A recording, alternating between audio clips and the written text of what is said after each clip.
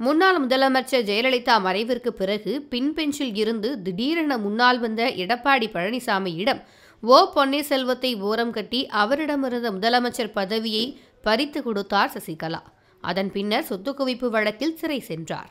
அதன் பிறகு சசிகலாவை ஓரம் வைத்துவிட்டு தன்னிடம் கோபித்துக் கொண்டு தர்மயுத்தம் நடத்திய ஓ பன்னீர்செல்வத்தை மீண்டும் சமாதானப்படுத்தி அண்ணன் தம்பியாக இருவரும் ஒன்று சேர்ந்தனர்.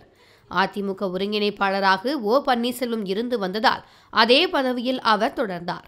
அப்போது முதலமைச்சராக எடப்பாடி பழனிசாமி இருந்ததால் அவர் இதுவரை யாரும் இல்லாத வகையில் அதிமுகவின் இணை ஒருங்கிணைப்பாளராகவும் ஓ பன்னீர்செல்வம் துணை முதலமைச்சராகவும் பதவி வகித்தனர்.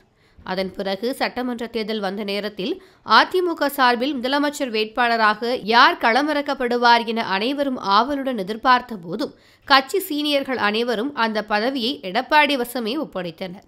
அடுத்ததாக தேர்தலில் அதிமுக தோல்வியடைந்த பிறகாவது எதிர்க்கட்சித் தலைவராக ஓ பன்னீர்செல்வம் இருப்பார் என எதிர்பார்க்கப்பட்ட போது அங்கும் எடப்பாடிக்குத்தான் முன்னுரிமை அளிக்கப்பட்டது. துணை எதிர்க்கட்சித் தலைவராக ஓ பன்னீர்செல்வம் நியமிக்கப்பட்டார். இருவரும் ஒன்றாக கட்சியில் இருந்தபோதும் கூட ஒன்றாக ஒரே மேடையில் சிரித்தபடி இருந்தபோதும் கூட அவர்களுக்குள்ளான விரிசலும் எரிச்சலும் ஒருவித விரோத போக்கும் அவரவர் ஆதரவாளர்களுக்கு மத்தியிலும் கூட இருந்து கொண்டேதான் இருந்தது.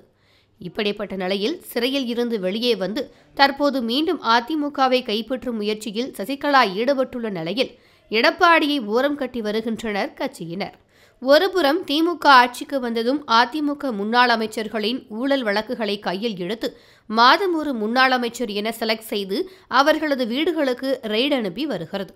இன்னொரு புறம் கொடநாடு கொலை கொள்ளை வழக்கை கையில் எடுத்து தீவிர விசாரணை நடத்தி வருகிறது திமுக அரசு.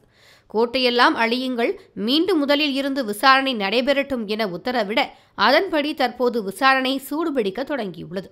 கொடநாடு கொலை கொள்ளை சம்பவம் நடைபெற்ற போது இதில் எடப்பாடி பழனிசாமிக்கு தொடர்பு இருப்பதாகவும் அதன் பரிசாகத்தான் சசிகலா அவருக்கு முதலமைச்சர் பதவியை கொடுத்ததாகவும் கூட பேசப்பட்டது குறிப்பிடத்தக்கது.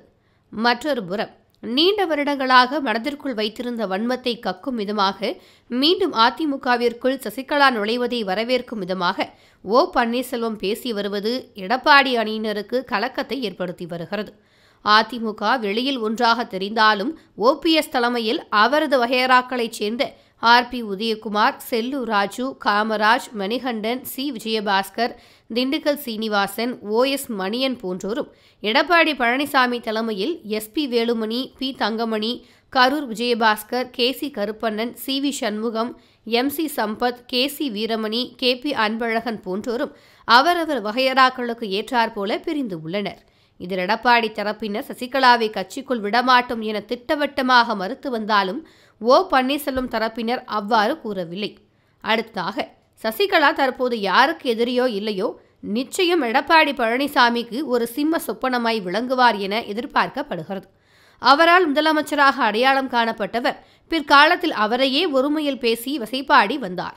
சசிகலா சென்னைக்குள் நுழைவதில் இருந்து மறைந்த ஜெயலலிதா நினைவிடத்திற்கு செல்வதற்கு மறுப்பு அவருடைய சொத்துக்களை முடக்குவது என பல்வேறு வகையில் சசிகலாவிற்கு இன்னல்களை ஏற்படுத்தினார் எடப்பாடி பழனிசாமி. ஆக இப்போது நாலாபுரத்தில் இருந்தும் எடப்பாடி பழனிசாமிக்கு ஆபத்துகள் நெருங்கிக் கொண்டிருப்பதால் அவர் ஓரங்கட்டப்படுகிறாரோ என்ற எண்ணம் எழுந்துள்ளது.